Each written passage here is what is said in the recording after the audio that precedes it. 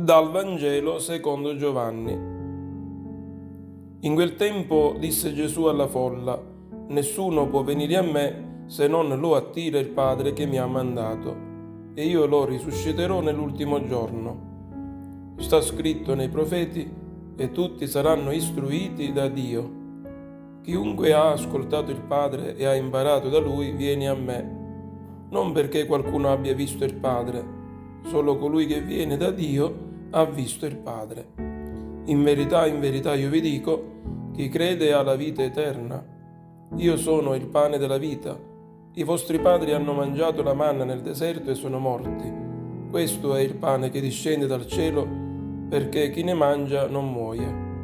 Io sono il pane vivo disceso dal cielo. Se uno mangia di questo pane vivrà in eterno, e il pane che io darò è la mia carne per la vita del mondo.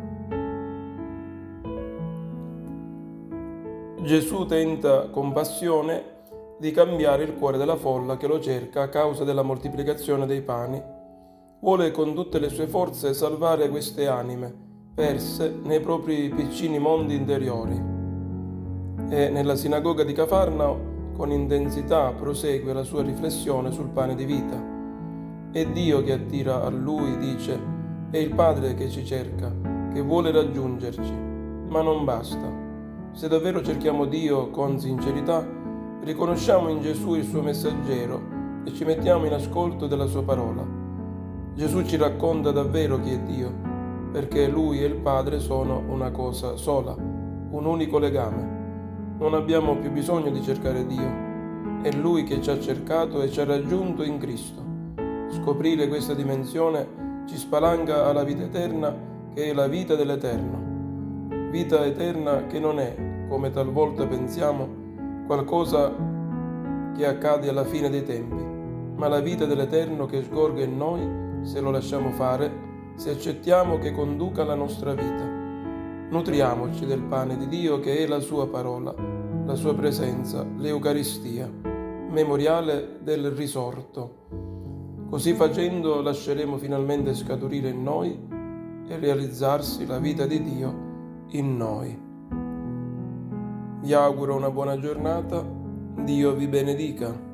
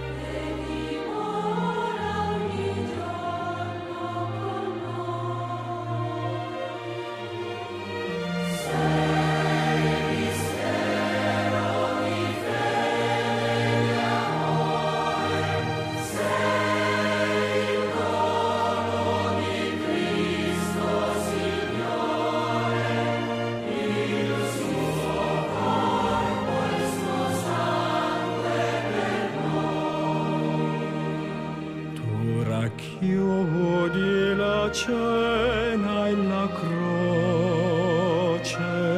della Pasqua sei il memoriale.